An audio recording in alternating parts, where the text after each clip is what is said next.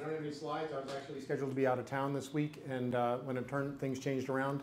uh, I managed to get tucked in here for a few minutes, and uh, I didn't want to put together slides, so um, we kept it, we kept it short. And I'm interested in the questions that you have, but I'll give you a quick update on what's going on uh, at the ONF. You know, um, it sort of bugged me how closed the Open Network Foundation is.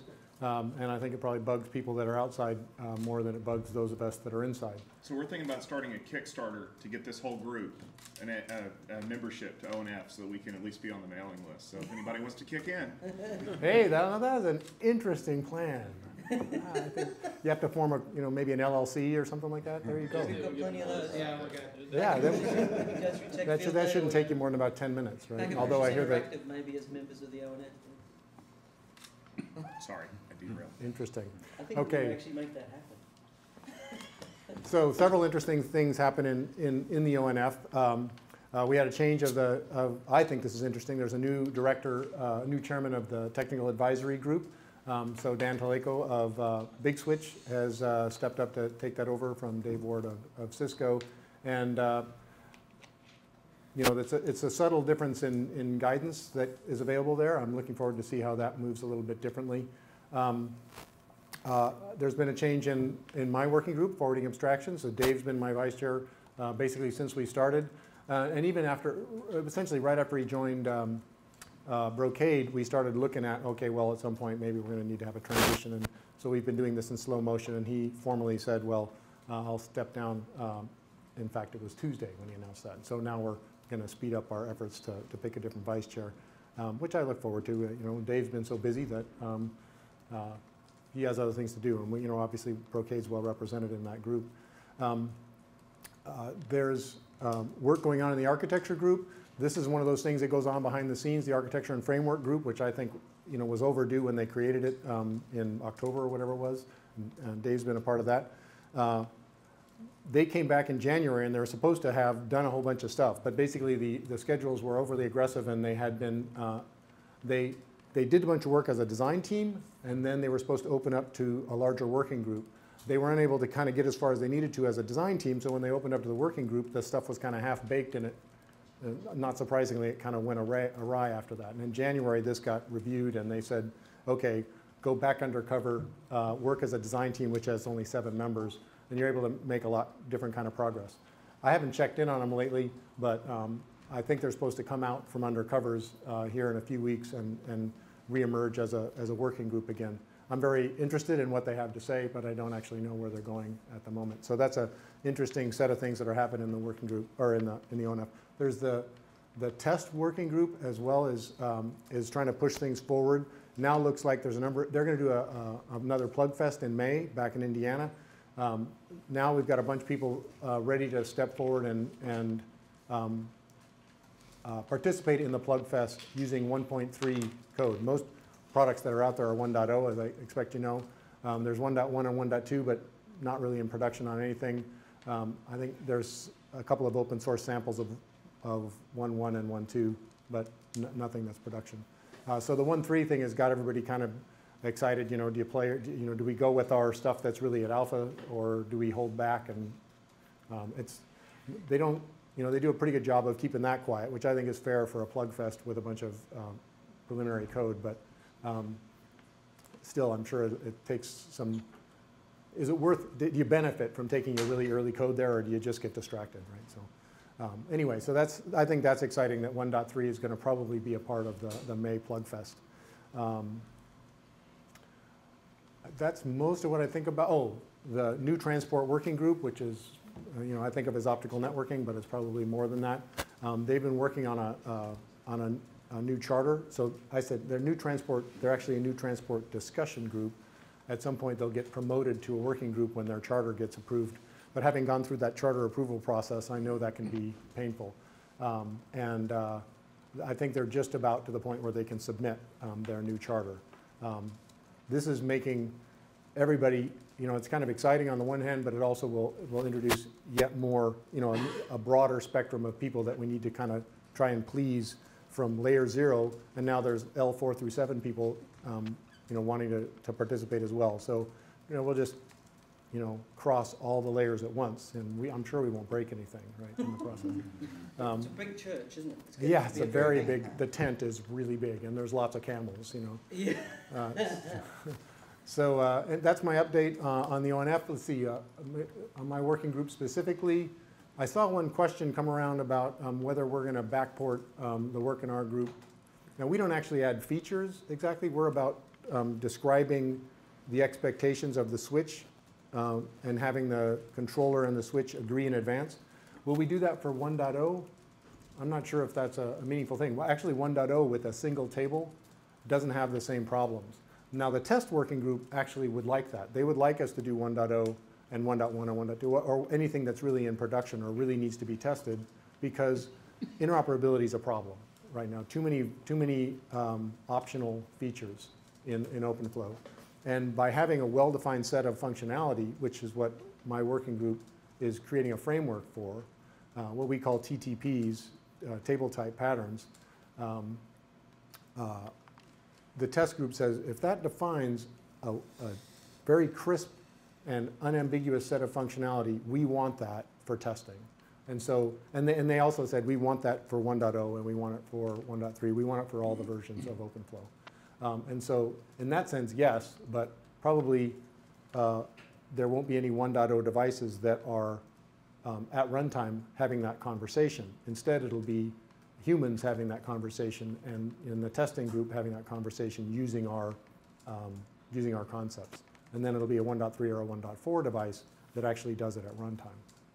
Uh, so um, in answer to the 1.0 backport, that, that's my answer there. Uh, we're, I had a conversation today about how to do that, that negotiation protocol, working with a guy who knows NetConf and Yang a lot better than I do, and he's, he's active in the config working group, which is where we're going to do that negotiation protocol. So things are marching forward. We look forward to, to talking in much more detail during the OpenFlow, uh, Open Networking Foundation Workday, which unfortunately is members only, but you guys will have raised, the- raised the money by then and be able to participate. Um, And you Okay. never know, there might be another OpenFlow related symposium for the Tech Field Day people at the next networking field day. Can we charge the I Open have Network no Foundation idea. people money to I'm show not up to announcing attend? anything yet. I have no idea what you're talking about. Um, Is there any chance, thirty-three thousand dollars, right? I was just Is there gonna- any chance that mailing, uh, mailing lists would be made available in an archive, so you could at least read and kind of, if you're curious to observe the going You know, on? I had never heard that proposed, but I think that would be a great idea, sort of like the, Seems harmless, like I have nothing to contribute, but I'm very interested in the proceedings, I'd like to read up. yeah, and some, something like, um, you know, the central bank, right, the Fed, how they open stuff up with a delay. You know, maybe we could do some kind of a delay where we open stuff. up. Or we can That's just all start talking about the Closed Network Foundation. I think you should, actually. I, I think that would be a good idea. I think that's a little risky for me to actually call it that. Do you actually feel there's, there's value in raising that in, in the, uh, social media space? That there, seems more closed than open? Yeah, I- um, I I do, I do. Not, not an unreasonable thing to say. Yeah, um, not at all. I wish we did better things to reaching out to the customer side of things. Who's the customer that's gonna sign up for thirty thousand? There's a few of them, a few big kids, but, Uh, I assume the, the methodology is there to have this agile standards framework, right? So not enough people in the room to say no, so you start getting some consensus, but at some point the ship's in the water and, you know, it's gonna take. yeah, we already have a crowd in there. I mean, mostly, as you said, you guys wanna listen, not, not, uh, talk unless, there's times when we wanna know your opinion and I don't have any good way to ask you. So, uh, what, what are the other questions? I probably went sailing past my ten minutes already. I'm very sorry. You got Okay. two. All right. So, based on one of the comments you made about um, optional parts of OpenFlow rather than everyone using the same standard bits, is this simply that some people are implementing options of the standard, or is it that people are adding and customizing the standard to their own needs and enhancing it? You know, eh, because one of the questions we asked yesterday was about, okay, so if I get a controller from one company and, a, and a, you know, an OpenFlow controller from one place and an OpenFlow switch from someone else, are they even going to talk? Or is this another of these standards in, you know, in fingers that isn't going to work until we've moved forward a bit and we've caught up to the functionality that everyone really wanted? Uh, I think both are true. So uh, there are, there are um, optional features in the standard there are required features in the standard that not everybody implements, which seems like, well, they're obviously not compliant, except it seems like they're able to solve real problems. So maybe, maybe there's a few required things that probably shouldn't have been required, lots of optional things that I- I, don't, I wouldn't say they should be required, but it's hard to know as a controller what you're coding for. Um, And then there's extensions, uh, which are, I think you were referencing there. I think extensions are a great way to move things forward, and obviously, you know, sort of a switch vendor and a controller vendor have to co- collaborate to make an extension work, but it's a good way to push things forward as long as we can, you know, find a way to integrate those back into the, into the spec. Um, The stuff that I'm working on in my group makes the optional and required thing, I mean, extensions are a little bit separate, and they do help us move forward. Optional and required, well, with our table type patterns that, that describe a collection of functionality, um, that can sort of handle the optional versus required thing, because we say, if you're gonna support this thing, you gotta do all these functions. If, if you don't, if you don't support those functions, well, fine, you don't support this, this TTP, you support maybe some other TTP. So it allows us to talk about, and it's not, the- our plan is not to create these TTPs in, as standards, but they're like common shared, uh, uh, models. Um, and so other members of the community can create them. So you're not bogged down waiting for, you know, the next release or next version of the standard. Instead, people say, okay, here is a collection of functionality. It includes a bunch of tests. You go decide if you think you support this thing, and then eventually the, the test work group will support that as well. So it, it does try to address that, that mix of optional, required but not actually available, required but available, and extensions. Yeah, and it's, it's the extensions that kind of worry me, because that smacks of, yes, at some point they might get rolled back into the standard, but meanwhile, it's kind of like having a, you know, like a pre-N access point where, well, you better have the USB stick and the AP from the same company or they just ain't gonna talk. And I, you start worrying that the same thing will happen with OpenFlow, that you get the vendor lock that everyone was saying we can break away from. OpenFlow is great, we can disassociate controllers from the, the merchant silicon and not care anymore. Well, actually, no, maybe not. No, no, that, I mean, it's a, it's a legitimate concern, and it's, um, I mean, I'm sort of counting on, uh, personally, I think it's good for Brocade, and it's good for a number of the other, um, challengers to, to have a, a, a real market where, where things are competitive.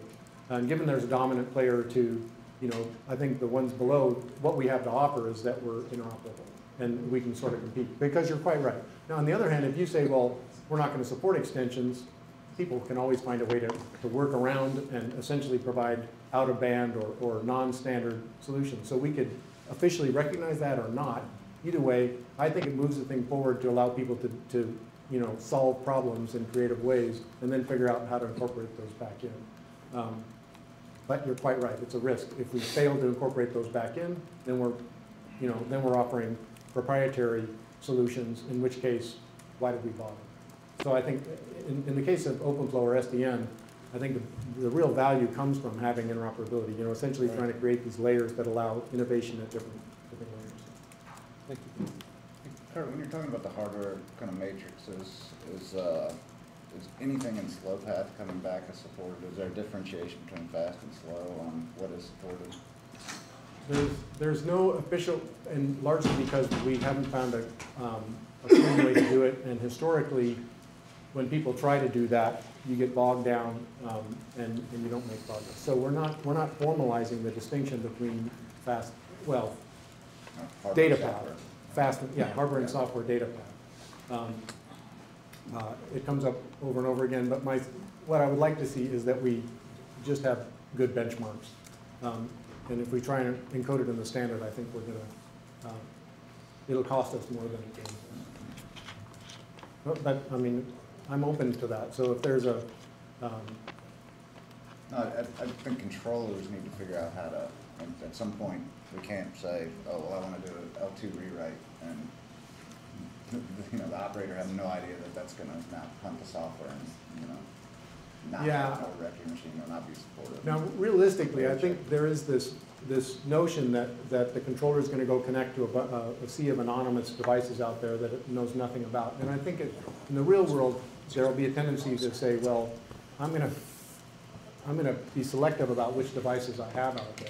And there, you know, before I build this network and, and throw all the pieces together, am I gonna put something out there that has really crappy performance?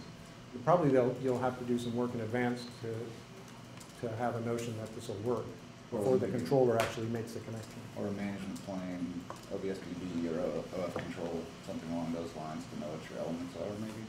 Well, that'll be true too, but I'm just saying that, that in the real world, um, there's stuff that happens before runtime. Right? And, and although we want stuff to work at runtime, um, you know, I- it, it, it doesn't seem like, well, I've got this slow box out there and the controller will go ask it to do stuff. Maybe eventually, when we have much richer environment and there's SDN boxes all over the place, then you'll be in that situation. And at that point, I imagine we'll, you'll be able to say, what, what kind of device are you? Okay, let me go check my table. Yeah, I see, here's the benchmark for that device. Right. And even though it's not in the standard, that you'll have a way, a way to deal with that. Uh, new standards, uh, new version before the ONS probably, I assume something like Uh, one dot four, which would be the new one for the, the switch protocol, um, which is what we now call, what used to be just called OpenFlow, um, is, they're working on one point four. And, that last August, the board said, thou shalt develop working code before you, uh, approve a standard. So now they've basically got all their ducks in a row, and they're getting ready to go work on working code, ge- generate their prototypes. So it's gonna take another several months because of this new requirement. Uh, I think that's actually wonderful, because now we'll have, um, I think they now have one, three versions of some of the, uh, open source soft switches and stuff. Um, so, uh, now they have something that they can now go ahead and build one point four on. Um, And I'm, I'm guessing sometime in the summer that they'll have that. And then our work will probably come, um, shortly after that. We'll probably benefit from one point four and, and build on that. I don't know if that exactly answers your question. No, absolutely. It won't be by ONS. that. Yeah, that's great. All right? Thanks very much.